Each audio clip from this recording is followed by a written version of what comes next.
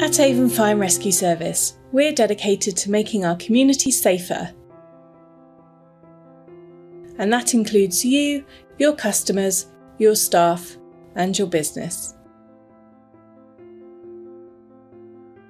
Our business fire safety team work with local businesses like yours to help you comply with fire safety legislation and protect your business.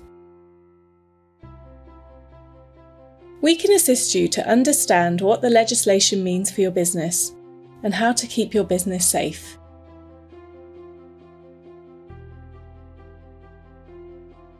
Did you know that around 60% of businesses that have a fire simply never recover and literally go out of business? Don't let this be you. Getting advice now can save your livelihood, reduce costs by being prepared, and help you to keep your business in business. The Regulatory Reform Fire Safety Order, or FSO, was established in 2005 and came into force in October 2006. It covers all business premises. So if you're in business, we are here to support you.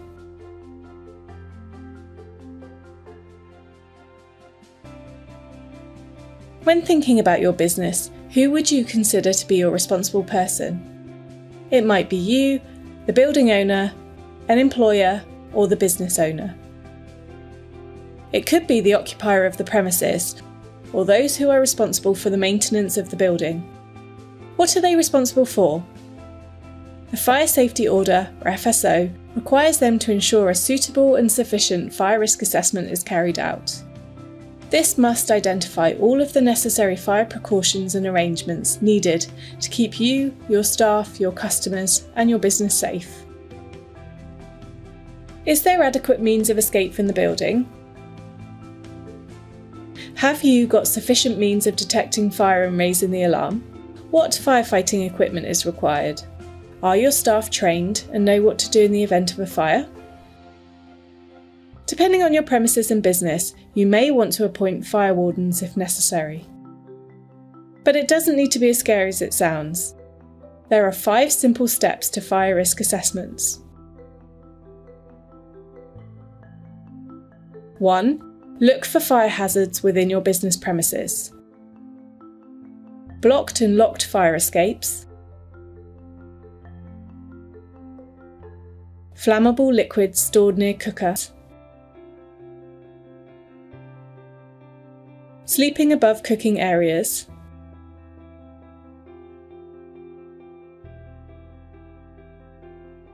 cooking over a flame when alone.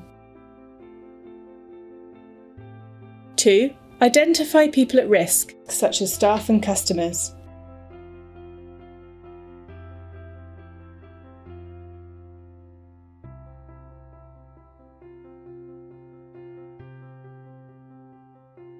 Three, remove or reduce the risks you find.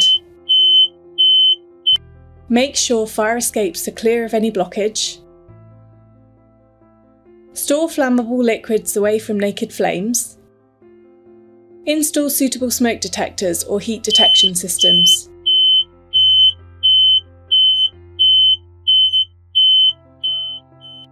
Instead of cooking over a flame, use a microwave instead. 4. Record what you find.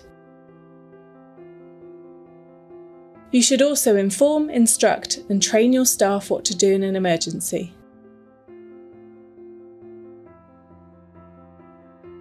Five, keep your fire risk assessment under review.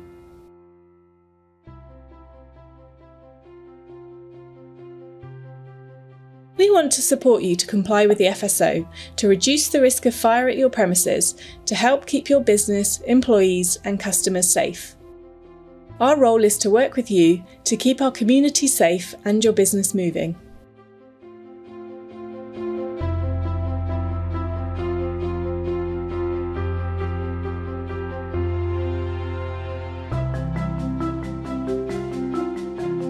If you'd like this video in a different language, including British Sign Language, please contact us.